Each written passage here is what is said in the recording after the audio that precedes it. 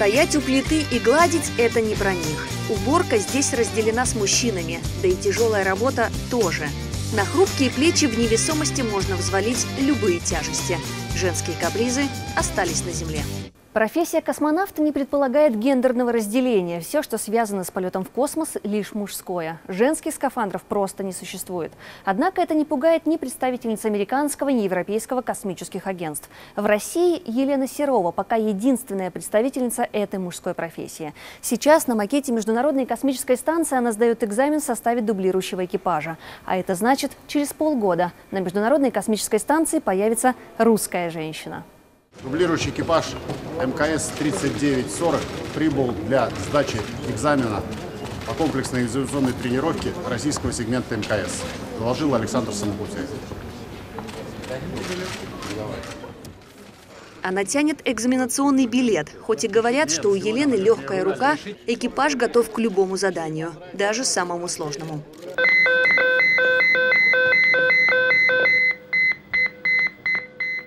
Разгерметизация станции, пожар, любая смоделированная нештатная ситуация, серьезная проверка экипажа.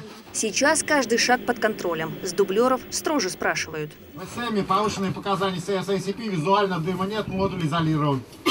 Экипаж космического корабля «Союз ТМА-14М». Командир Александр Самокутяев. Бортинженер номер один Елена Серова. Бортинженер 2 Барри Уилмор. В таком составе тренируются уже два года. Выживали на воде, отрабатывая нештатное приземление. Ждали спасателей в морозном лесу. Понимают друг друга с полуслова. Помогают, но поблажек не дают. Правильно сказали, у профессионалов нет гендерных признаков. Я подтвержу слова командира, что у нас есть специалист, космонавт, и все. Различий по гендерному признаку у нас совершенно никак не ощущается. В подготовке космонавтов разного пола отличий практически нет. Однако есть существенные отступления в экипировке. Одежда для орбитальных будней специфическая. Если у мужчин все с конвейера, только выбирай цвета, то к женщинам подход индивидуальный. Давно у нас не летали женщины, но вот летит Елена Серова, и вы готовите для нее целый комплект женской уже одежды. Лена мерила энное количество изделий, выбрала то, что ей подошло, те изделия, в которых ей комфортно, у нее очень чувствительная кожа. То есть она выбрала тот ассортимент, который ей удобен, в котором ей комфортно, в котором ей, хорошо. Одежда, белье, насколько бы она яркой ни была, она должна не отвлекать человека на борту. Люди туда летают работать. Одел он наше белье и забыл. На полугодовой полет космонавту полагается 60 комплектов нижнего белья и 30 пар носков. На МКС душа нет, пользуются только влажными салфетками. Срок годности одежды сокращен. Белье носят три дня, затем в нем еще занимаются спортом и утилизируют. Мы, к сожалению, здесь не имеем такой роскоши э, стирать одежду, потому что воду очень трудно привозить. На земле воды много, у нас воды мало, поэтому нам проще сухой одежды много привезти.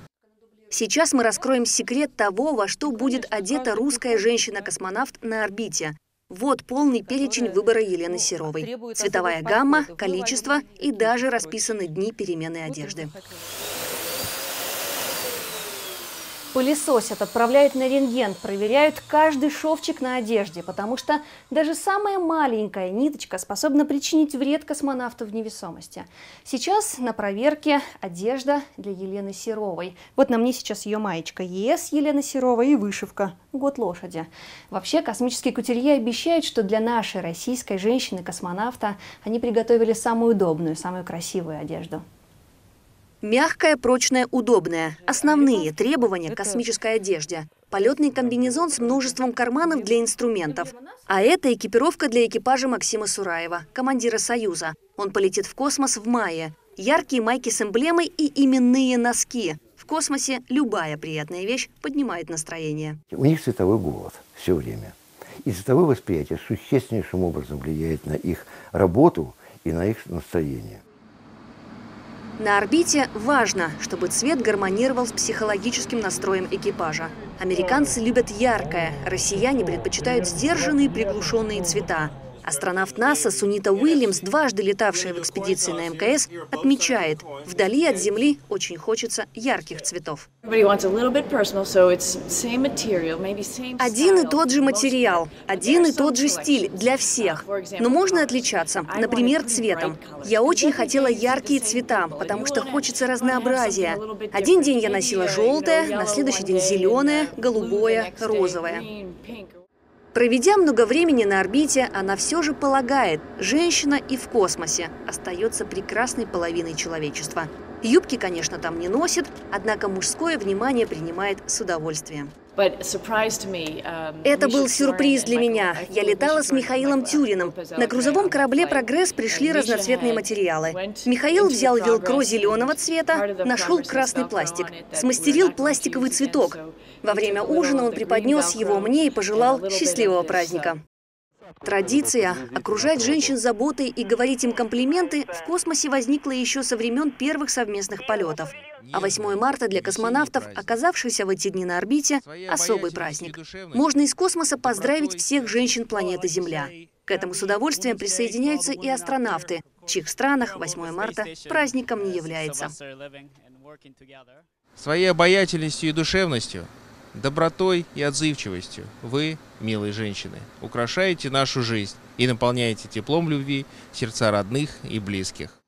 Однако сегодня Елене Серовой, единственной женщине в отряде космонавтов Роскосмоса, пока не до праздников. Экзамен за экзаменом. А тут еще и повышенное внимание, интерес, вдвойне сложнее.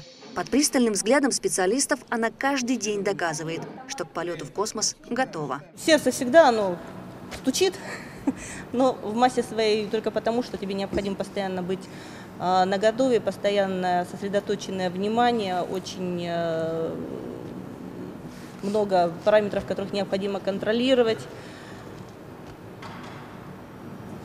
Рабочие моменты.